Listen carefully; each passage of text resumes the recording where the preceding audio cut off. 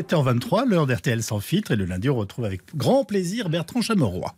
Bonjour Yves, bonjour à tous, bonjour, Bonjour, Amandine. Bertrand. Bonjour. Ça va? Ça va très bien, ça ira encore mieux quand Yves euh, lira sa petite relance. Et, euh, vous, vous avez regardé la cérémonie des Césars?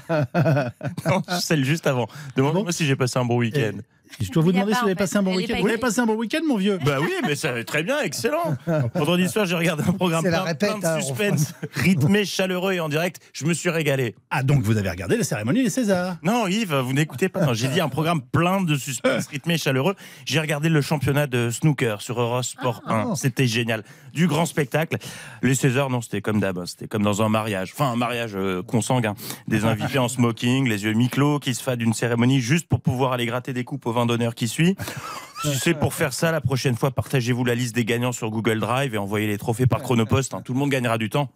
Alors, et cette ambiance, vous avez regardé On se croyait dans la salle de repos d'un magasin Picard. Même le magnéto hommage aux disparus respirait plus la déconne.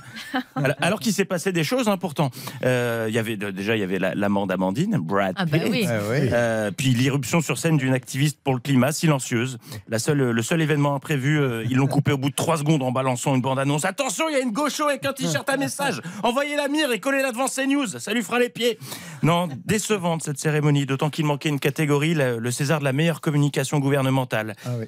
Euh, bon, je vous l'accorde. Cette catégorie, s'il la mettait, euh, la soirée est terminée à pas d'heure. hein. Le, le temps de lire tous les nommés, on est déjà dimanche matin, mais j'ai mon lauréat. Le César de la meilleure communication gouvernementale est attribué à Olivier Dussopt pour l'écorché de la réforme des retraites.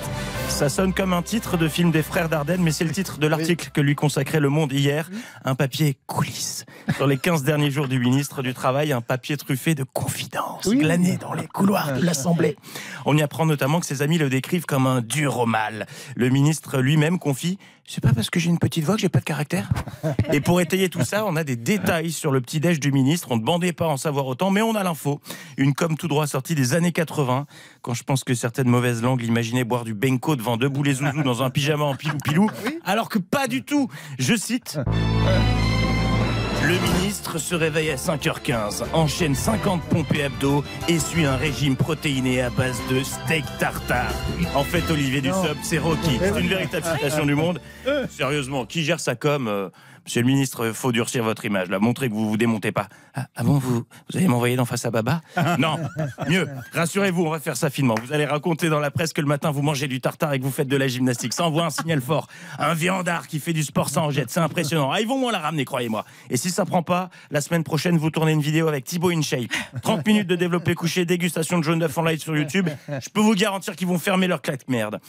Et oui, en 2023, des conseillers en com pensent encore que pour se faire respecter, homme doit manger yande et avoir des muscles. Il me tarde de découvrir la prochaine étape de com du gouvernement. hein. Oui. Samedi, dans 50 minutes inside, en immersion avec Stanislas Guérini.